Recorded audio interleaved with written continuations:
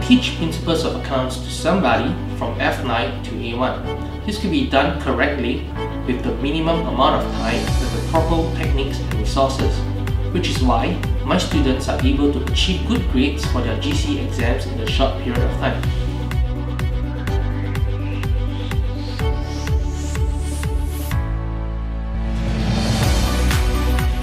So, I'm going to share with you the practical side of learning POA. Study plan, methodology, analyze, resources, techniques. There's nothing more important than memorizing accounting formats and theories to do well in POA. It is very possible to do well in this subject, especially with my program, having someone to guide your child by showing them the proven processes to achieve a distinction grade in this subject.